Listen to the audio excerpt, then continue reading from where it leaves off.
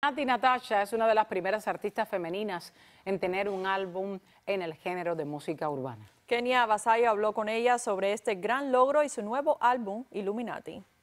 Primero de todo, es muy difícil como mujer prosperar en la industria de la música urbana. ¿Qué significa ese logro para ti? Significa eso, un logro. Significa un momento de superación, un momento de crecimiento, un momento de empoderamiento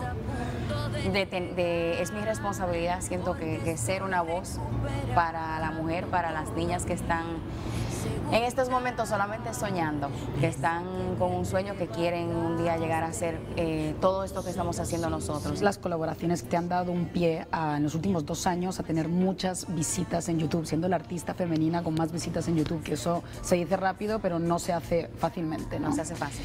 Eh, ¿cómo, te han, ¿Cómo te ha ayudado esta estrategia?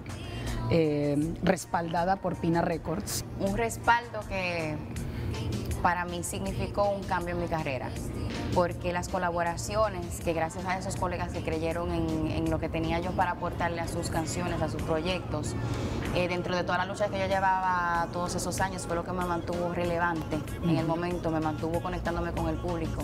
En el momento en que llegó Pina Records, donde yo me encontraba luchando bastante por sacar mi música, por hacer nueva música, por, por tener una dirección, una guía. Pina Records creyó mucho en no solamente un artista, un artista, sino una mujer.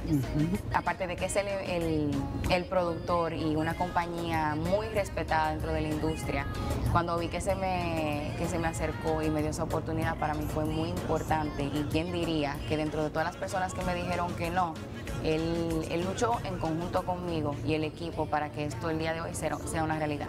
Daddy Yankee es otro de, de los jefes, ¿no? Cuando digo, cuando digo equipo, lo incluyo completamente ahí. Tanto Rafi Pina como Daddy Yankee son una, una pieza exageradamente importante en mi carrera. Pues feliz día de San Valentín, desde aquí, desde el Doral, con Nati Nat, Nati Nat. Muchísimas gracias. Yo sé que me piensas cuando